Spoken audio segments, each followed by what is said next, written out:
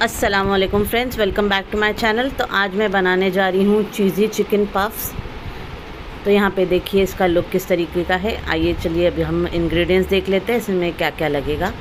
तो यहाँ पे सबसे पहले मैंने एक पैन में ऑयल गरम कर लिया। तकरीबन एक टेबल स्पून ऑयल में मैंने एक टीस्पून भरकर अदरक लहसुन का पेस्ट ऐड कर लिया है। इसे हम अच्छे से भून लेंगे, ठीक है? अच्छे से भूनने के बाद अब हम इसमें वेजिस मिलाएँगे। पहले मैं डालूँगी इसमें स्प्रिंग ऑनियन वाइट और चॉप्ड कैप्सिकम और ग्रेटेड कैबेज ये तीन वेजीज़ मैंने लिए हैं। आपको और वेजीज़ ऐड करने हैं अपने चॉइस के तो आप ऐड कर सकते हो। ठीक है? इसे हल्का सा हम सॉटे करेंगे, इसे ज़्यादा हम फ्राई नहीं करेंगे। क्रंचीनेस इसकी थोड़ी सी रहनी चाहिए, उतना ही सॉटे करना है आपको। ठीक है? कम से कम पाँच से सात मिनट तक के हाई फ्लेम पे आप इसे सॉटे कीजिएगा, ताकि इसका क्रंचीनेस जो है वो बरकरार रहे। अब यहाँ पे मैंने बॉयल्ड और श्रेडेड चिकन ऐड कर लिया है। ये तकरीबन एक बाउल भर कर लिया है मैंने बॉयल्ड और श्रेडेड चिकन इसे भी हम कुक करेंगे वेजीज़ के साथ अच्छे से। ठीक है? अब इसे कुक करने के बाद अब हम इसमें ऐड करेंगे एक कप दूध। एक कप दूध डाल देंगे हम इसके अंदर और इसे तकरीबन हम पाँच मिनट तक अच्छे से हाई फ्लेम पे कुक करेंगे। ठीक है?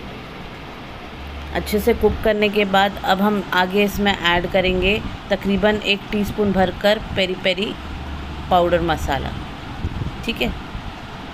अच्छे से मिला लेंगे हम पेरी पेरी मसाला को ताकि सारा फ्लेवर जो है वेजीज़ में और चिकन में अच्छे से मिक्स हो जाए। अब देख रहे हैं, दूध जो है वो पककर कम हो गया है इसमें।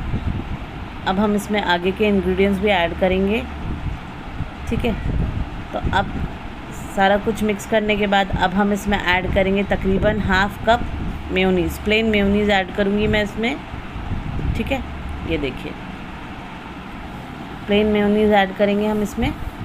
सारा मेयोनीज़ ऐड करने के बाद इसे अच्छा सा एक मिक्स दे देंगे हम। अब यहाँ पर मेयोनीज़ को मिक्स करने के बाद यहाँ पे तकरीबन दो क्यूब्स चीज़ के हम ग्रेड करेंगे। देखिए ये। ये मैं प्रोसेस चीज़ ले रही हूँ, अमूल का। ठीक है, आप अपने चॉइस का चीज़ भी ऐड कर सकते हो, देखिए, मैंने चीज़ को ग्रेट कर लिया। अब मैंने गैस का फ्लेम भी बंद कर लिया, अब अच्छे से से एक मिक्स दे देंगे, ताकि चीज़ हमारा सब, सारे हमारे मिक्सचर में अच्छे से मिक्स हो जाए। और गैस का फ्लेम बंद करने के बाद अब इसे हम ठंडा होने देंगे। यहाँ पर देखिए, मैंने रेडीमेड शीट लिया है, उसमें मैं ये फिलिंग ऐड कर रही हूँ, ठंडा होने के बाद। बेकिंग शीट हम रख देंगे बेकिंग ट्रे पर, और उसके ऊपर पेस्ट्री शीट रख के फिलिंग डाल कर हम इसे ऐसे फ़ोल्ड करेंगे। आप अपने चॉइस का फ़ोल्ड इसे दे सकते हो।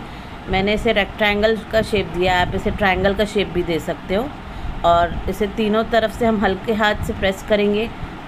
साइड्स को अच्छे से फोल्ड करके प्रेस करेंगे। अब एक फोक की हेल्प से आप इसे सब साइड से प्रेस कीजिएगा। देखिए इस तरीके से। हल्के हाथ से आपको प्रेस करना है, ताकि जो साइड्स है हमारे पेस्ट्री के, वो अच्छे से चिपक जाए आपस में और बेक करते वक्त हमारी पेस्ट्री जो है वो खुले ना।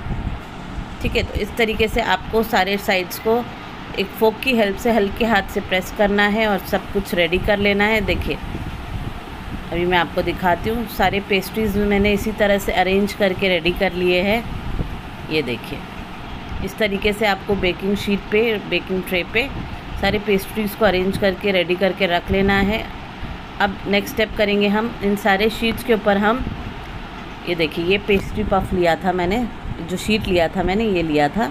अब हम एग योग का पार्ट जो है, इस पर ब्रश करेंगे, ठीक है, अच्छे से, ताकि इस पर एक अच्छा सा कलर आ जाए। एग योग को लेके अच्छे से फेंट लेना है आपको, और इस पर ब्रश की हेल्प से पेस्ट्रीज़ के ऊपर आपको अप्लाई करना है। सारी पेस्ट्रीज़ पे एक एग योग ब्रश करने के बाद हम इस पर जो सेसमे सीड है, तिल, सफ़ेद तिल, वो स्प्रिंकल करेंगे। आप चाहो तो आप ब्लैक तिल भी स्प्रिंकल कर सकते हो, ठीक है? सारे पेस्ट्रीज़ पे ये अप्लाई करने के बाद सेसमे सीड स्प्रिंकल करके रेडी करना है, वो भी मैं आपको दिखाती हूँ। तो यहाँ पे देखिए, इस तरीके से आपको सारे पेस्ट्री पफ पे स्प्रिंकल करना है सेसमे सीड को, सफ़ेद तिल को। आप चाहो तो ब्लैक तिल भी इस पर स्प्रिंकल कर सकते हो।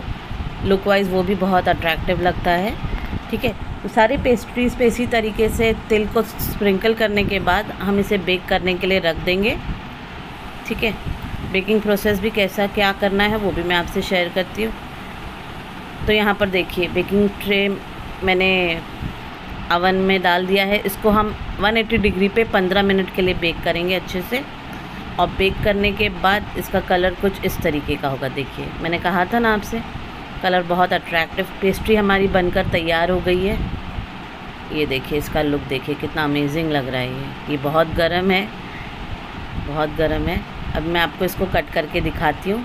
ये देखिए, बाहर से क्रंची है, अंदर से उतना ही क्रीमी बना है ये पफ देख रहे हैं आप? तो इस रेसिपी को आप ज़रूर ट्राई कीजिएगा। चिकन पेस्ट्री पफ बनकर रेडी हो गया है। इसे ज़रूर ट्राई कीजिएगा और मुझे अपना फ़ीडबैक ज़रूर दे दीजिएगा। टेक केयर अल्लाह हाफिज़।